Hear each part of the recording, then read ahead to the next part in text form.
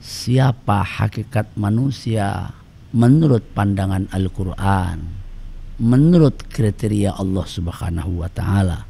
Ini penting kita ketahui karena banyak manusia yang sebenarnya cuma kelihatannya saja sebagai manusia. Kalau kata orang Jawa, tongkrongane trok ketorone menungso tapi ternyata hakikatnya jauh dari sebagai manusia.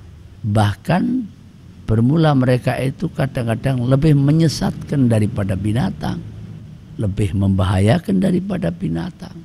Tongkrongannya manusia, kepalanya manusia, tangannya manusia, kakinya manusia, tetapi akhlaknya kelakuannya tidak ubahnya seperti binatang.